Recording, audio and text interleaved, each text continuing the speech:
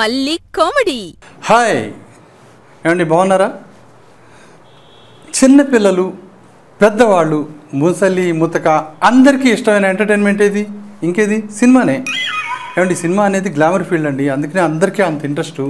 మన చుట్టూ జరిగే విషయాల గురించి కానీ దేశ రాజకీయాల గురించి కానీ మనకు అసలు ఏం పట్టదు. కానీ ఏ హీరోయిన్ ఎవరి పక్కన పడుకుంది? ఏ హీరో హీరోయిన్లు లివింగ్ టుగెదరు? ఆ తర్వాత ఏ హీరో పిక్చర్ ఫ్లాపు ఏ హీరో పిక్చర్ హిట్టు తర్వాత ఏ హీరోకి ఎంతమంది ఫ్యాన్స్ ఉన్నారు ఏ సినిమాకి ఎన్ని కలెక్షన్లు ఇవన్నీ మనకు కావాలి. ఇంకేం అక్కర్లేదు. అందుకనే అన్నారండి సినిమా ఫీల్డ్ అనేది చాలా గ్లామరస్ ఫీల్డ్ అనేసి. ఆ మధ్య రియల్ ఎస్టేట్ భూమిలో ఊరి చివరన అర ఎకరం ఎకరం అర ఎకరం ఉండే గుడ్లు కాచుకునే వాళ్ళు కూడా వాటిని అమ్మేసి కోటీశ్వర్లు అయిపోయారు. జనరల్గా డబ్బుండే వాళ్ళకి ఏమనిపిస్తుందండి? రాజకీయాల్లో దిగాలనిపిస్తుంది. లేదా సినిమాల్లో దిగాలని సిని- ఈ రంగం సినిమా రంగంలో దిగాలని అనిపిస్తుంది. అంతే అండి ఆ దురద తప్పకుండా ఉంటుంది. డబ్బుంటే ఆ దురద ఉండి తీరుతుంది. అలాగే ఈ కోటీశ్వర్లైన ఈ గొడ్లు కాచుకునే వాళ్ళు ఉన్నారు కదా వాళ్ళకి సినిమా దురద పట్టుకుంటుంది అనమాట సినిమా తీసేయాలనేసి దురద పట్టుకుంటుంది. ఇప్పుడు నేను చెప్పబోయే పాయింట్ అదే. రాత్రిపూట మీరు సినిమా న్యూస్ చూస్తూనే ఉండుంటారు. అసలు ఈ సినిమా న్యూస్ ప్రోగ్రాం ఉందే రాత్రిపూట వచ్చేది. దీన్ని మించిన కామెడీ ప్రోగ్రామ్ ఇంకోటి లేదు. ఆ న్యూస్ యాంకర్ ఏమో భుజాలు ఎగరేసి ఇలా వస్తుంది. వచ్చేసి ఇక్కడ దాకా నవ్వుతుంది. నవ్వేసి టీవీ ఫోర్ ట్వంటీ ప్రేక్షకులకి నమస్కారం. మరి ఈరోజు మనం ఒరే దొంగ సచ్చినోడా ఆ సినిమా షూటింగ్ విశేషాల గురించి తెలుసుకుందామా? ముందు ప్రొడ్యూసర్ గారు ఏం చెప్తారో చూద్దాం అంటుందన్నమాట. వెంటనే స్క్రీన్ మీద ఒక నల్లగా లావుగా ఉండే మనిషి మొహం ప్రత్యక్షం అవుతుందన్నమాట కళ్ళు ఇలా ఉబ్బి ఎర్రగా ఉబ్బి ఉంటాయి. అతని పదివేలకి పది ఉంగరాలు ఉంటాయి. తర్వాత ఇక్కడ గోల్డ్ బ్రేస్లెట్ ఉంటుంది ఇక్కడ గోల్డ్ రిస్ట్ వాచ్ ఉంటుంది మెడలో ఇంత లావు పలుపు తాళ్ళ ఇంత లావు గోల్డ్ చైన్ ఉంటుందన్నమాట. అయితే అతను ఇలా మాట్లాడతాడనమాట ఇవాళ నాకు చాలా ఆనందంగా ఉంది. ఇట్లా సినిమా పిక్చర్ తీస్తున్నాం కదా ఎంతో ఖుషిగా ఉంది. నేను చిన్నప్పటి నుంచి నాకు పిక్చర్లు చూసేది చాలా ఇష్టం ఉంది. అయితే ఒకనాడు ఏమైందంటే నేను స్కూల్ డుమ్మా కొట్టి సినిమాకి పోయినా.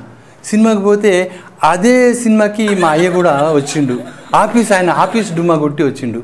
ఆయన నన్ను చూసిండు థియేటర్లో చూసిండు. చూసి ఏం చేసిండు? ఇంటికి వెళ్ళిన తర్వాత సాలే స్కూలు డుమ్మా కొట్టి సినిమా చూస్తావురా అని బెల్ట్ తీసి నా తొక్క కూడా కొట్టిండు. మంచిగా మస్తుగా కొట్టిండు బొక్కలుగా కొట్టిండు. అప్పుడు అదే రోజు నేను డిసైడ్ చేసుకున్నా ఇట్లా కాదు ఈ సినిమా నాకంటే ఇంత ఇష్టం ఉన్నది కదా సినిమా ఫీల్డ్ దీంతో ఒక రిలేషన్ గిట్టా పెట్టుకోవాలి అని స్ట్రాంగ్గా డిసైడ్ అయిపోయినా. అయిపోయి ఇంకా అట్లాగా అది నేను అప్పుడు అనుకున్నది ఆ కోరిక ఇప్పుడు తీరింది. అందుకనే నేను చాలా ఖుషిగా ఉన్నాను నాకు మంచి సినిమాలో చాలా మంచి రిలేషన్షిప్ వచ్చేసింది అనేసి ఇలా చూసి నవ్వుతాడు అనమాట హీరోయిన్. చూస్తే ఆ హీరోయిన్ లవ్ ఫోటి అని నవ్వుతుంది అనమాట అప్పుడు ఈయన చాలా ఖుషి అయిపోయి మళ్ళీ మళ్ళా చూడాలి. ఈ రిలేషన్షిప్ ఎన్నాళ్ళు ఉంటుందో చూడాలి. అని అంటాడు. అప్పుడు ఆ హీరోయిన్ మళ్ళీ హిహిహిహి అని నవ్వుతుంది అనమాట నవ్వుతూ ఇతను చాలా ఖుషి అయిపోతాడు. ఎందుకంటే ఇంట్లో పెళ్ళం కూడా వీడి మొహం చూడదు. వీడి మొహమే చూడదు. నవ్వుదాకా ఎందుకు? మొహం అలాంటిది ఇలాంటి హీరోయిన్ నవ్వుతే మరి ఖుషి అయిపోడు. కానీ ఆ నవ్వు విలువ పాపం లక్షలు లక్షల లక్షలు ఖరీదు చేస్తుందని అప్పుడు ఆయనకి తెలియదు. ప్రొడ్యూసర్ మళ్ళీ ఇలా అంటాడనమాట ఈ సినిమాలో హీరోయిన్ చాలా బాగా చేసింది ఆమె. చాలా కోఆపరేట్ చేసింది మాతో. ఎందులో కోఆపరేట్ చేసిందో? తర్వాత ఆమె నైట్ కూడా బాగా వర్క్ చేసేది. ఆమె మంచిగా చేసేది వర్క్ ఏ వర్క్ ఆ తర్వాత ఇలా కూడా అంటాడనమాట ఆ హీరో హీరో కూడా మంచిగా యాక్టింగ్ చేసిండు. చాలా మంచిగా మస్తు జబర్దస్త్ చేసిండు అని చెప్పి కూర్చుంటాడు. ఆ తర్వాత ఆ సినిమా డైరెక్టరు దుబారా రామ్. అతను ఇలా మొదలు పెడతాడనమాట ఈ సినిమా అవకాశం నాకు ఇచ్చిన ప్రొడ్యూసర్ గంగులు గారికి నేను చాలా రుణపడి ఉన్నాను. ఎందుకంటే నేను చదువు సంధ్య లేకుండా గాలికి రోడ్ల మీద తిరుగుతుండేవాడిని. ఇప్పుడు ఎందుకు పనికిరానని మా నాన్నగారు తర్వాత మా బంధువులు అందరూ అనుకునేవాళ్ళు. నేను మాత్రం అనుకునేవాడిని. ఎందుకు పనికిరాని వాడిని? సినిమా డైరెక్షన్ చేయడానికి పనికిరానా? అని అనుకునేవాడిని. అప్పుడు ఈ ప్రొడ్యూసర్ గారు గంగుల్ గారు నాకు పరిచయం అయితే అప్పుడు నేను హీరోయిన్ హీరోయిన్ లఫూటీ గారిని ఆయనకి ఇలా ఇలా పరిచయం చేశాను అనమాట అప్పుడు నా టాలెంట్ అలా గుర్తించారన్న.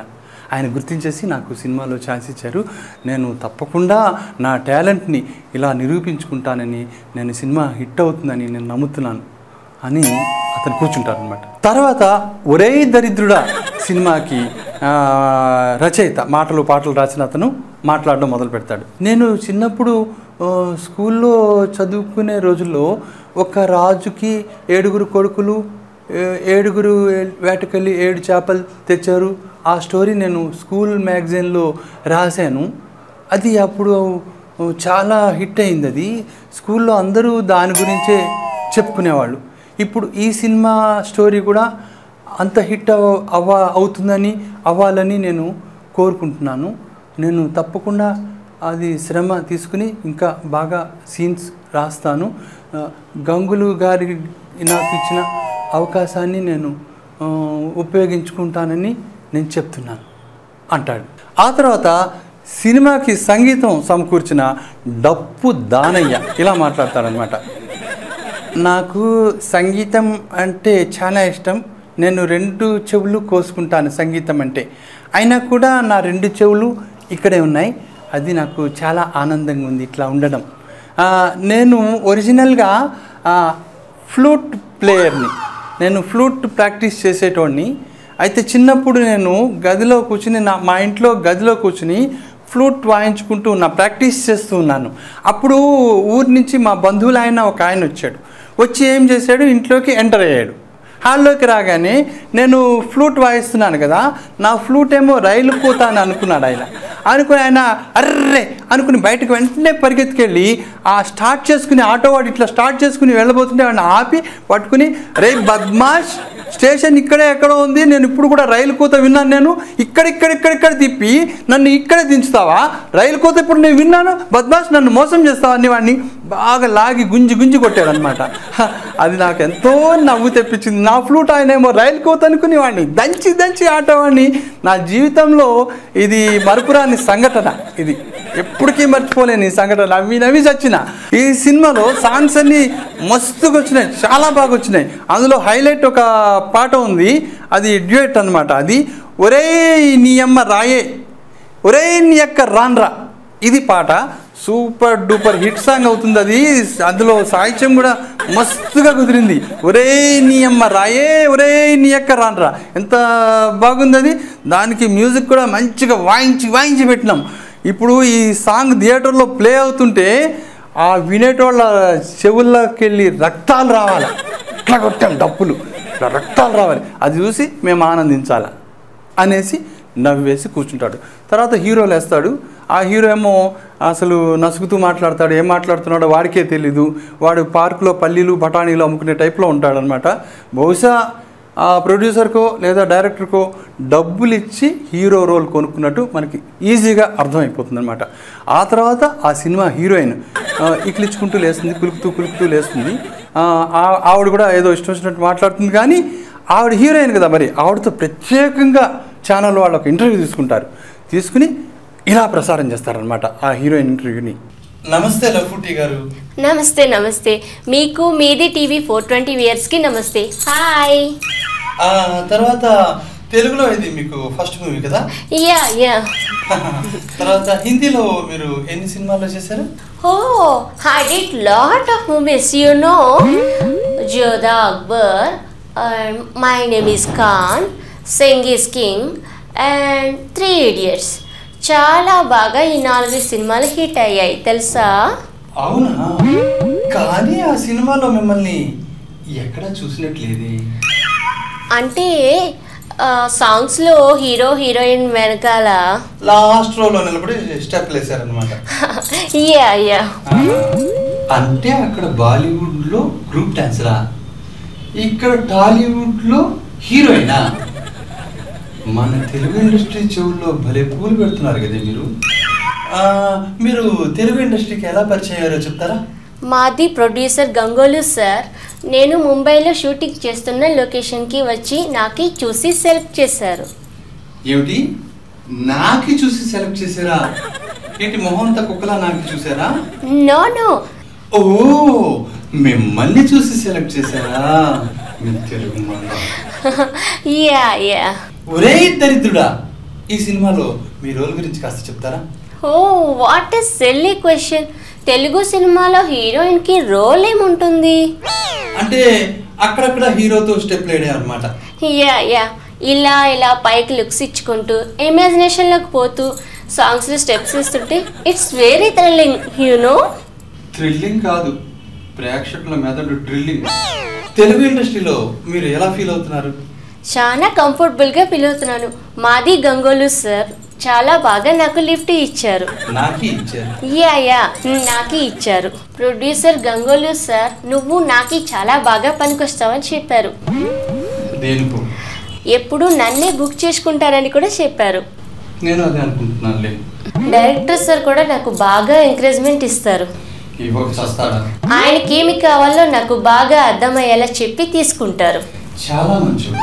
ఆయన సాటిస్ఫై అయ్యేదాకా ఎంత రాత్రైనా నన్ను వదలడు. చాలా ఓపిక ఉన్న మనిషి. హీరోకి నాకి మధ్య కూడా కెమిస్ట్రీ బాగా కుదిరింది. ఒక్క హీరోతోనేంటి? యూనిట్లో అందరితోనూ నీకు ఫిజిక్స్ కెమిస్ట్రీ అన్నీ కుదిరిపోయేలా ఉన్నాయి. ఆ, తర్వాత తెలుగు ఇండస్ట్రీకి వచ్చారు కదా మరి మంచి తెలుగు నేర్చుకునే ప్రయత్నం ఏమైనా చేస్తున్నారా? నో ఇక్కడ హీరోయిన్స్కి తెలుగు రాకపోవడం ఒక ప్లస్ పాయింట్ అని చెప్పారు. అబ్బో అప్పుడే తెలుగు ఇండస్ట్రీలోని గుట్టుమట్లన్నీ మీరు తెలిసేసుకున్నారే? నాది యంగర్ బ్రదర్ ఉంది. వాడికి తెలుగు రాదు. వాడిని సింగర్గా ఇంట్రొడ్యూస్ చేద్దామని ప్లాన్ చేస్తున్నా. చాలా మంచిదమ్మా. ఎందుకు? నీ జీవితాశయం ఏమిటి? ఎవరో షావిట్రి అని హీరోయిన్ ఉందట కదా. సావిత్రి కాదు సావిత్రి. ఆమె మహానటి. ఆమె అంతా నటి అవ్వాలని ఆశ. అమ్మని ఇలా ఉంటాయండి సినిమాకి సంబంధించిన న్యూస్లు. అసలు వాటిలో ఎన్ని రిలీజ్ అవుతాయో ఎన్ని రిలీజ్ కావో ఎన్ని రిలీజ్ కావేంటి? నైంటీ పర్సెంట్ సినిమాలు ఇలాంటివి రిలీజే కావు. అంతే మనం చూడడం వాటిని రిలీజ్ అవడం. అదండి సంగతి. ఈ వారం టాపిక్ ఇక్కడితో ముగిస్తున్నాను. మళ్ళీ వచ్చే వారం సరికొత్త టాపిక్తో కలుద్దాం.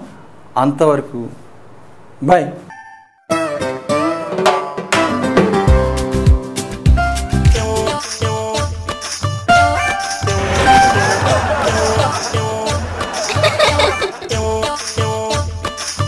మళ్ళీ కామెడీ.